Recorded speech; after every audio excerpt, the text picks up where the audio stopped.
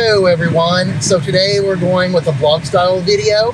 Uh, right now, um, I am on my way to meet Quinn at. In half a Um, mile, turn right to I-820 east. right now, I'm on my way to um, uh, a British pub to meet up with Quinn.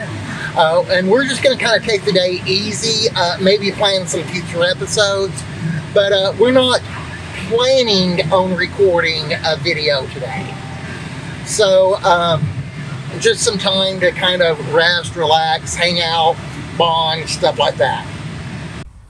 So we've arrived. Um, it is the middle of summer in Texas. So I have uh, all of these shades on my car. But um, yeah, so we're here.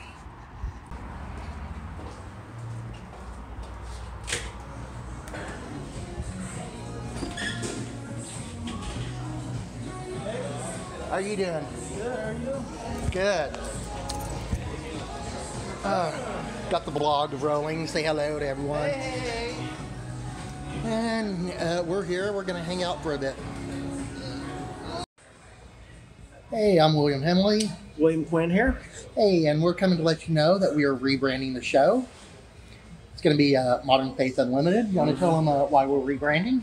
I uh, just want to get a broader audience, and also we want to probably just instead of make it be about us, more be about the faith instead in general and all it represents. Mhm. So I think the the brand of Modern Faith Unlimited is going to help us in the long run. Um, it'll be more informational and conversational in the long run too, as far as the faith goes. So I like the idea. Uh, we're going to do a show about the uh, name change in a few weeks. Yeah.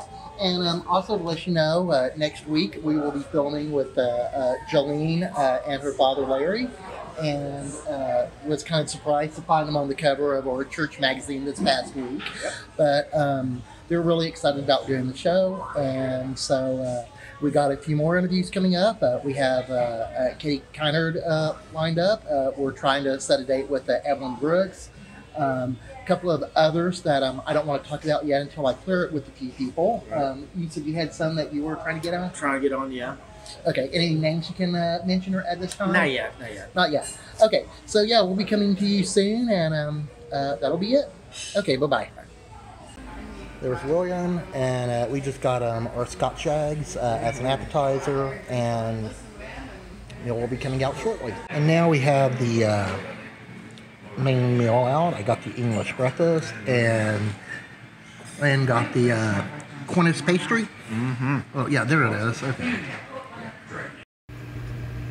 Okay, so let's see how this is doing this one-handed.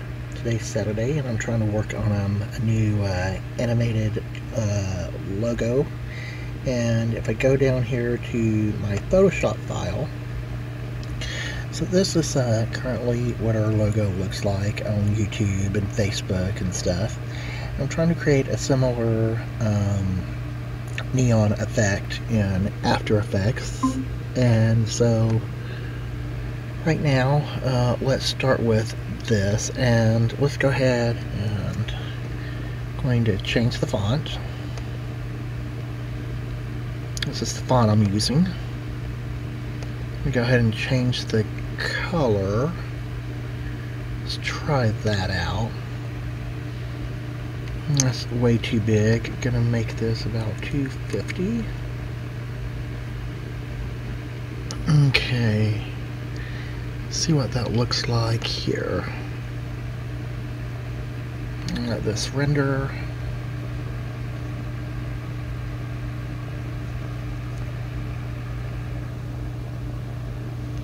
It's a bit blown out, but uh, we'll fix that here in a bit. Now the uh, hard part is going to be that these are different fonts and they're different thicknesses and stuff like that. So trying trying to create something similar and may actually have to use different fonts, which I don't want to do. I want to try to make this look all uh, uniform. So we'll see what happens. Okay, so let's see what happens when um, go back over here into my main composition.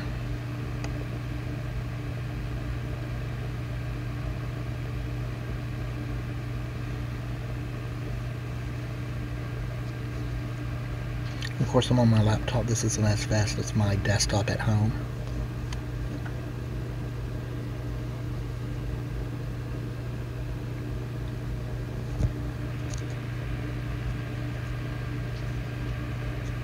Okay.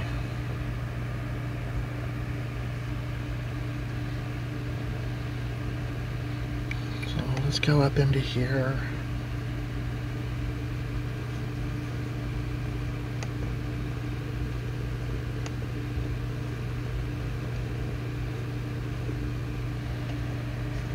Okay. Change this to about a 60. See what happens.